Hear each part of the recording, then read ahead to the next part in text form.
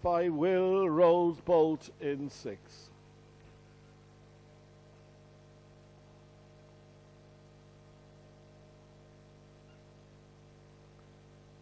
Away they came. Willrose Bolt away well on the wide outside. The three. Bauroe Puma also went up well and takes a narrow advantage into the opening bend.